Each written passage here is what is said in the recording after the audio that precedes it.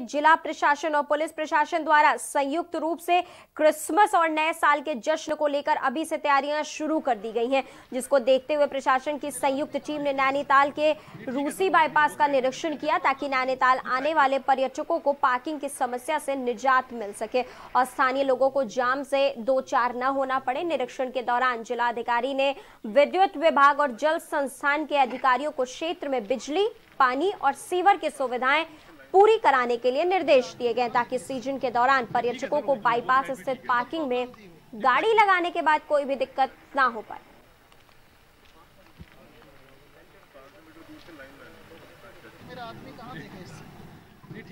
नाम से निजात दिलाने के लिए ही ये सेटेलाइट पार्किंग का कंसेप्ट है।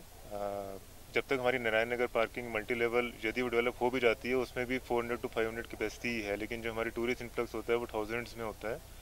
सो uh, ये तो हमें this is the plan of the future कि ये हमें इंटरसेप्ट तो करना ही पड़ेगा। आज नहीं करेंगे सो अगले साल करना पड़ेगा।